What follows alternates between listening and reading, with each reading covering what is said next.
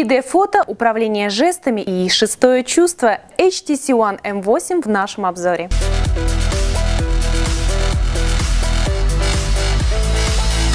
Привет, это Digital Review, я Надежда Бахарова. Итак, с какой новости мне начать? С плохой или хорошей? Давайте так, сначала немного критики, ну а потом начнем этот телефон нещадно хвалить. Вот, размеры и дизайн можно описать в трех словах. Лучше враг хорошего. Ведь предыдущий вариант флагмана был уже достаточно большой. Нет, М8 сделали еще больше, тяжелее и пухлее, наверное, в угоду современным тенденциям. Удобнее от этого он точно не стал.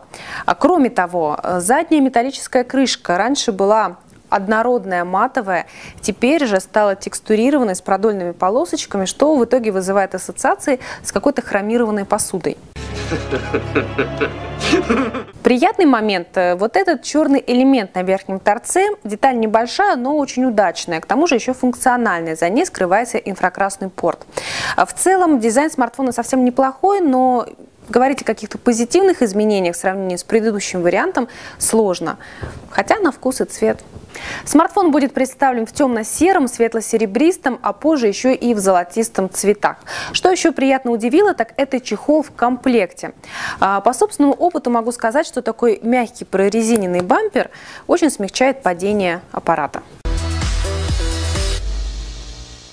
Кнопку включения перенесли вправо, но все равно расположение на верхнем торце не самое удобное, зато смартфон можно разблокировать при помощи жестов. Двойной этап экран блокировки, свайп вправо Blink Fit, лента новостей, свайп влево главный экран, свайп вверх, последнее открытое приложение. Штука эта очень удобная и нужная. Уверена, что первое время вы будете задумываться, в какую же сторону чиркнуть, но зато потом на автомате можно легко одним движением зайти в нужный раздел. Кстати, все это работает только в привычном для гаджета горизонтальном положении, в руке или на столе, то есть, э, будучи в кармане или в сумке, экран не будет случайно включаться.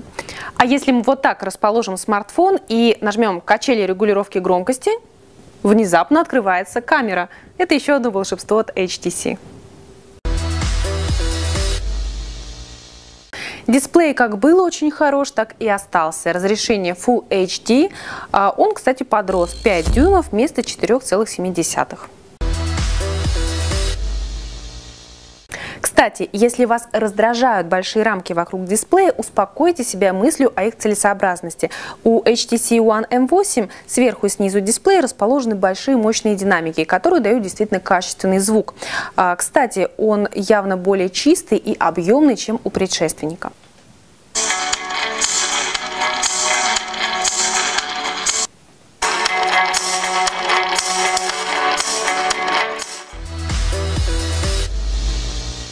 На Android 4.4.2 установлена фирменная оболочка Sense версия 6.0, которую красиво назвали «Шестое чувство». Появились новые настройки в разделе «Персонализация». Можно добавлять приложения и виджеты, управлять страницами главного экрана, а еще создавать темы. Тогда фоновый рисунок и разные элементы на рабочем столе появляются в сочетающихся между собой цветах одной темы. В одной теме есть фоновый рисунок для заставки и несколько цветов, которые будут окрашены разные элементы на рабочем столе. Основная камера так и осталась 4-мегапиксельной, точнее ультрапиксельной. А, здесь увеличенный размер пикселя 2,0 микрометра. Это уже знакомая технология HTC. Кстати, снимки получаются очень неплохие. А на задней панели, кроме двух вспышек, есть два глазка камер. Собственно, одна из них выступает в роли сенсора для получения дополнительной информации об объектах. С помощью этого гаджета можно менять фокус, переводить с одного объекта на другой уже после создания фото. Для этого не нужно включать дополнительных режимов. Такой постобработке может подвергаться любое фото, кроме, пожалуй, макроснимков. Еще можно создавать трехмерные фотографии, а функция Seasons позволяет добавлять сезонные атрибуты в кадр. Падающий снег, лепестки роз, кленовые листики или одуванчики. При основной камере в 4 ультрапикселя гаджет оснастили фронтальной камерой в 5 мегапикселей. Интересно, какая же из них снимает лучше? В чем смартфону не откажешь, так это в быстродействии. Здесь установлен процессор Qualcomm Snapdragon 801 с тактовой частотой 2,3 ГГц.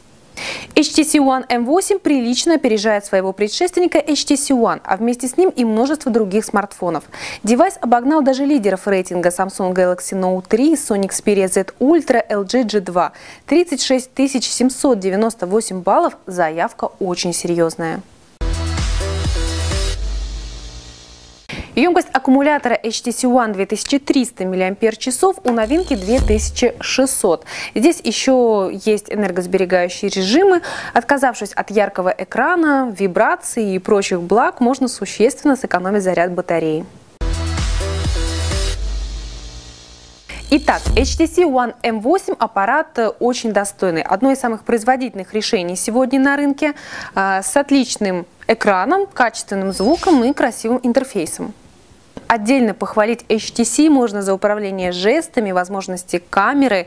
Э, не позитивными моментами я считаю только увеличение размеров гаджета и э, дизайн. Но не могу сказать, что это недостаток, потому что такие параметры всегда воспринимаются субъективно. Кстати, я слышала, что очень сложное производство вот этих текстурированных крышек M8, ну, может быть, кого-то просто этот факт подбодрит. Э, ну что ж, пишите, что вы думаете о новинке в комментариях к этому видео и заходите смотреть следующие наши видео ролики. Пока-пока. В рядах компактных смартфонов с топовыми характеристиками прибыло. Встречайте не упрощенную версию, а уменьшенную копию флагмана Sony Xperia Z1 Z1 Compact.